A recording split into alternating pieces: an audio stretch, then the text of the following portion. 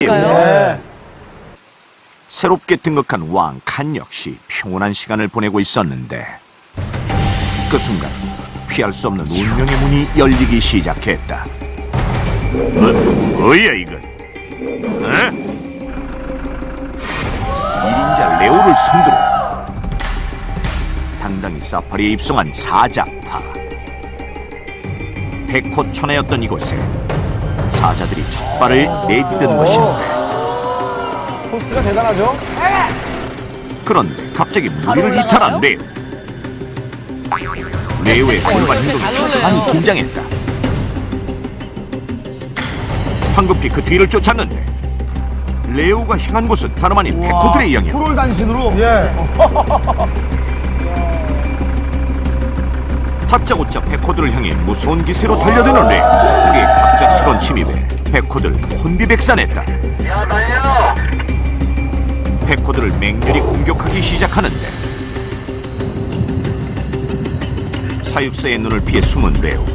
어, 저, 저 2번 섹터 쪽으로 가게요. 잠시 공격을 멈추는가 싶더니 또다시 백호를 향해 달려든다. 이렇게 한바탕 난동을 부리고 나서야 다시 무리로 돌아가는데 갑작스런 공격에 혼이 쏙 빠진 백호들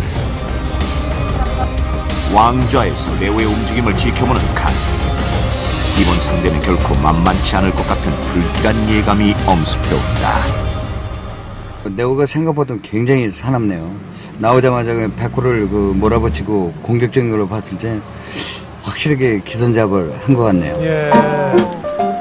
그날 오후 난생 처음 사파리에 나온 사자들 아우 이게 요즘 최신 유행하는 선텐 포즈라는데 배 좀 태워야 돼 배좀 암수가 한데 올려 즐거운 시간을 보내는데.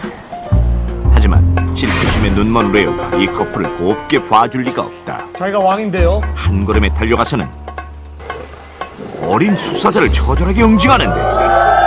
이런 우리 피도 안 마른 어린 그 요리들이야? 어?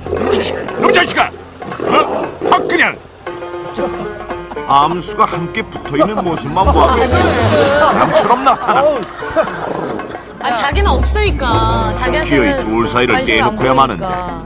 폭군이네요 폭군 귀신체로 말고 나타나는 레오 야야야야 거기 좀 떨어져 떨어져 왜 저래?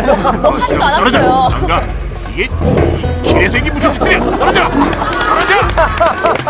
그렇게 레오의 횡포는 날이 갈수록 심해져만 갔다. 레오를 향한 백성들의 불만은 높아져만 갔는데. 아유, 그냥 저 자식 때문에 그냥 속살이 더 막히네 그냥. 아우, 아우 속살이 그냥. 사파리의 모든 여인들을 혼자 독차지하려는 레오. 아가씨, 아가씨. 싫어요 아우 귀찮게 좀 하지 말라니까 그냥 무시하게 힘만 세가지고 그냥 냄새나 냄새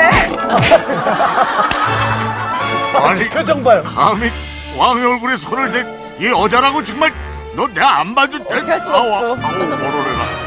아우. 단단히 화가 난데요. 급기야 암사자를 힘으로 제압하는데.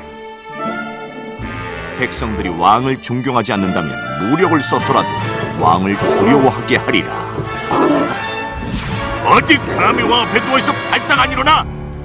무릎을 꿇라 무릎 무릎 무릎 무릎 꿇기 싫으면 얘처럼이라도 이렇게 앉아있으란 말이야 딴데 보고 있어. 완전 딴데 보고 있어요. 자신의 힘을 추종하는 세력을 모아 레오 본격적인 공포 정치 시대를 열어가는데 어떻게 될까요?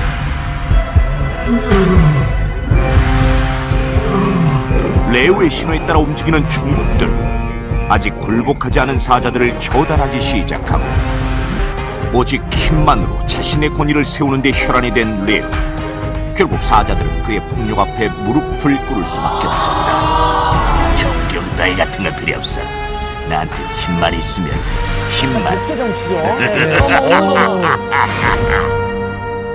보통 수사자가 암컷을 괴롭히는 일은 별로 없는데 네오 같은 경우는 뭐 암수 구별 없이 그냥 그 신경에 거슬리면 가차없이 그 응징하는 그런 모습을 볼 수가 있어요.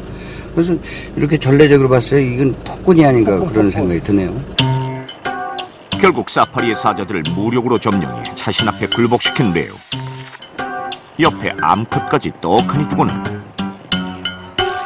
다리까지 떨며 만족해한다. 그래. 이제는 모든 걸 가졌어.